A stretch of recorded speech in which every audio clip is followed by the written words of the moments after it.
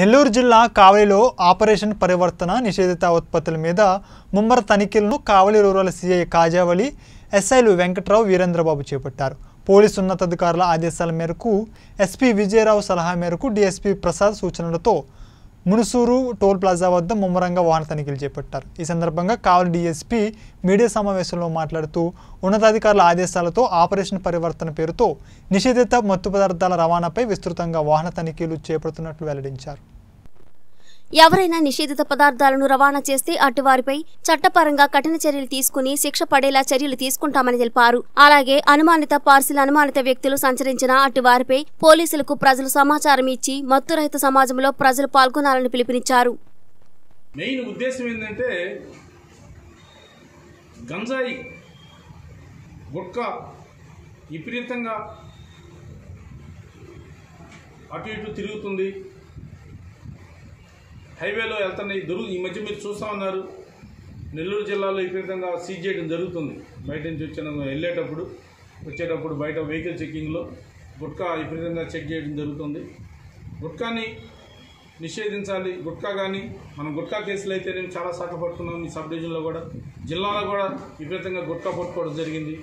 గంజాయి కూడా పట్టుకుంటున్నారు చె- చెకింగ్ చేసి. దాంట్లో భాగంగా ప్రతిరోజు సడన్గా సర్ప్రైజ్ చెకింగ్ పెట్టాలి అనే దీని మీద ఎస్పీ గారు ఈరోజు ఆదేశాలు ఇవ్వటం ఆ ఆదేశాలని బేస్ చేసుకొని ఆపరేషన్ పరివర్తన అనే పేరు పెట్టారు దీనికి. ఎందుకంటే ఆపరేషన్ పరివర్తన ఒక పదిహేను రోజుల నుంచి కూడా ఆ ప్రోగ్రాం నడుస్తూ ఉంది మన స్టేట్లో.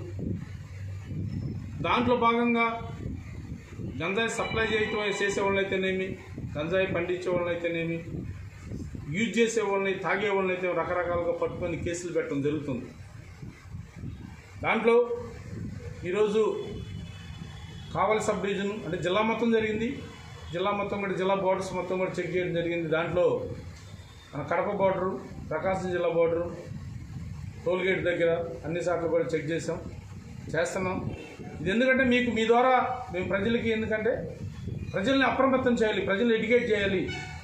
దీంట్లో ప్రభుత్వం అయితేనేమి పోలీస్ యంత్రాంగం అయితేనేమి చాలా మంచి ఉద్దేశంతో దృక్ప మంచి దృక్పథంతో దీన్ని నిర్మూలించాలి. ఎందుకంటే క్యాన్సర్కి ప్రధాన కారణాలు అవుతున్నాయి ఇవి. అందువల్ల ప్రజల యొక్క ఆరోగ్యాలు పాడవుతున్నాయి. దాన్ని దృష్టిలో పెట్టుకొని ఈ ఆపరేషన్ పరివర్తన అనే ఒక ప్రోగ్రామ్ని తీసుకొచ్చి సడన్గా మొన్న ఒకరోజు చెక్ చేస్తే గుట్కా పట్టుకోవడం జరిగింది. కొద్ది ఫోర్ డేస్ బ్యాక్. అట్లాగనే మనం తెలంగాణ నుంచి వచ్చిన మందు బాటిల్స్ కూడా పట్టుకోవడం జరిగింది. అందువల్ల దయచేసి ప్రజలు మీకు కానీ ఏదన్నా అనుమానం ఉన్నా ఎలాంటి ఇన్ఫర్మేషన్ ఉన్నా పోలీసుకు తెలియజేయవలసిందిగా కోరుతున్నాం మీ మీ ద్వారా. ఎందుకంటే ఇప్పుడు ఇది పబ్లిసిటీ కావాలి మాకు ఇన్ఫర్మేషన్ రావాలంటే ప్రజల దగ్గర నుంచి రావాలి. ఎందుకంటే దాన్ని తాగేది ఒక ఫైవ్ పర్సెంటే గంజాయి కానీ one percent two percent one పర్సెంటే ఉంటుంది గంజా తాగేవాళ్ళు. ఒక ఫైవ్ పర్సెంట్ గుట్కా తాగేవాళ్ళు ఉంటారు. కానీ దానివల్ల మిగతా వాళ్ళకి మన తొంభై తొమ్మిది మందికి నష్టం జరుగుతుంది.